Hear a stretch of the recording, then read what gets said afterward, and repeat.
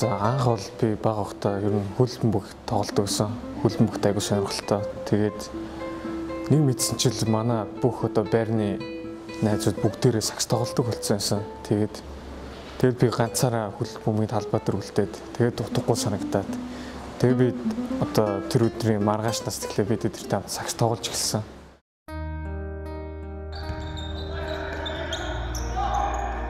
хамгийн гол зүйл бол сагсан бөмбөг намайг одоо нээж өгсөн. Би өмнө бол айгүй тийм ичимхий жоохон зожиг хөвгтэйсэн. Also also run. Fast break, fast break, fast break. Just get the ball, just run. Get there. Jack. Yeah. I will not defense. Just I will let him go somewhere. Defense, come on guys. Nice defense. Бимээ би сагсан бөмбөг сурмаар байна. Яах вэ гэд. Тэгсэн чинь маргааш нь шууд манай имээ намайг сагсан бөмбөгийн спортын дугаартанд сагсан бөмбөгийн секцэнд бүртгүүлсэн. Тэгээд бүртгүүлчихэд бит хоёр Wisdom гэд дээр пүүц зардаг тийм газар байдаг. Тийшээ яваад тэр бол бас яг миний амьдралдаа миний амьдралын хамгийн аз жаргалтай мөчүүд энийг бас яг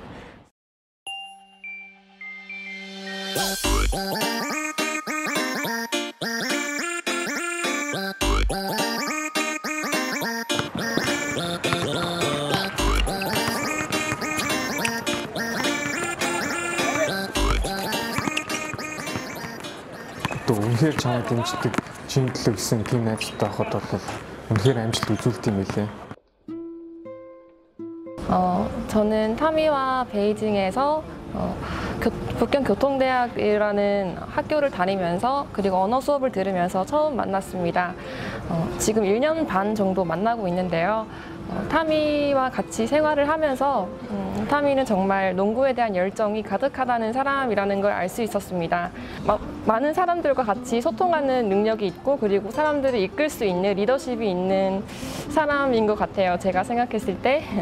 그래서 음, 타미는 어, 저에게도 그리고 모든 사람들에게도 정말 특별한 사람인 것 같습니다.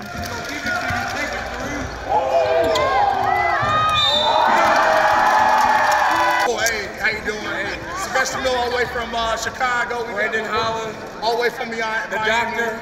We're here Miami, Beijing. China. I'm just visiting.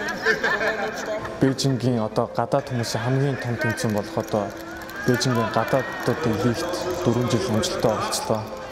Аа нэг удаа дөрөвт орсон, нэг удаа гуравт орсон, хоёр удаа хоёрт орсон.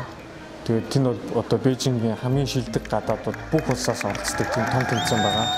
Аа финалийн тоглолтод Америкийн шгшээ багтаа тоглосон.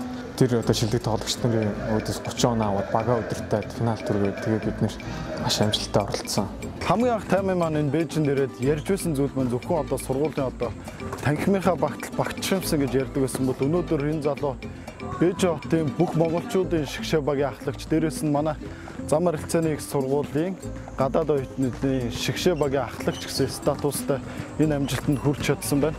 Мэдээж энэ амжилтанд хүрэхэд бол тодорхой хэмжээний маш их хөдөлмөрийг энэ залуу зарцуулсан. Тэр бүх хугацаанд би бол хамтдаа байсан учраас гэрчилж чадна. Таамагаа шидэгч болохын тулд бараг өдөр болго 800 шидэлт хийдэг байсан. За зарим бүр ачаалттай үед бол битээр 800 тэрнээс дээшээ шидэлтүүдийг бол хийдэг байсан байгаа. Би нэг удаа бэлтгэл хийхдээ 800 та шиддэг байхгүй. Тэгээд хар халуунд 800 та миний бөмбөгийг авч өгдөг. Одоо би ч бол яг ингээд шидчихэнтэй бөмбөгөө 800 та би дуртай зүйл хийж байгаа шүү дээ. Тэр хүн халуунд одоо 800 та миний ийш тийш ойж байгаа бөмбөгийг авч өгөөд над руу паслна гэдэг бол үнэхээр жинхэнэ найзууд л одоо тийм байдаг гэж би боддог.